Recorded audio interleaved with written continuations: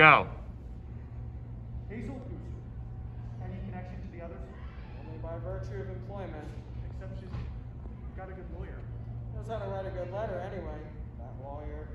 And she no longer works here. Left six months ago. That makes four now. Three. Four, you got the Maggia girl.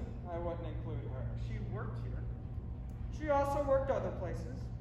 And what she died from, you couldn't pick up here. At least I don't think you can. Not funny, Charlie. Besides, it's just idle talk. In my experience, there's usually something to the idle talk when it comes to girls like that. From a large family, wasn't she? Italians. The conditions they live in. 10, 12 people in three rooms. It's a wonder they all don't die of one infection or another. Three, then. And how many dead? Only Miss Maggia. But I haven't heard from her people. It's too late for them anyway. The statute of limitations is two years. But Miss Kuser is another story. She's in a position to make some serious trouble now. In all the time I've been here, nobody has even so much as slipped on the floor.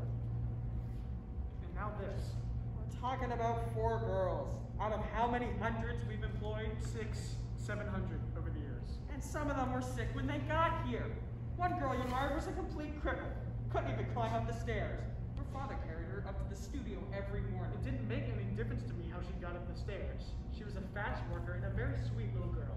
She was in poor health. She needed the work. Arthur. And not just for the money, to feel productive.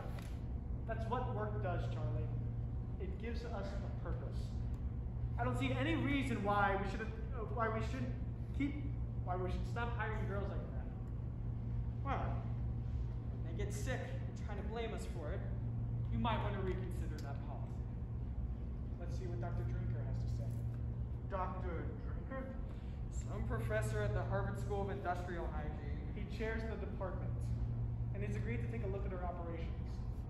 Don't you think we're jumping the gun a little bit, hiring him? We've had six girls quit this week, and Mrs. McNeil tells me there could be more.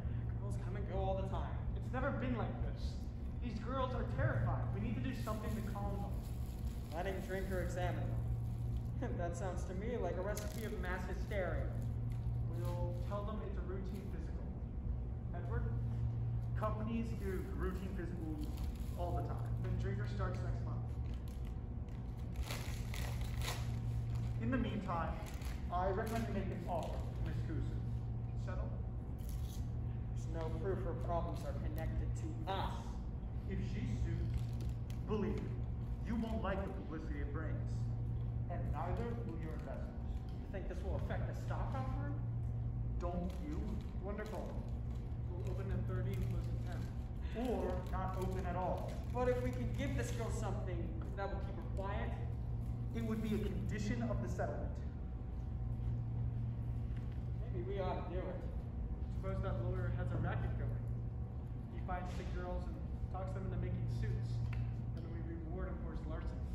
Unless Miss Kuser genuinely believes she got sick here. It could be like Charlie said. She comes from a large immigrant family, not well educated, not a lot of resources. So, it would be a gesture of decency. Exactly.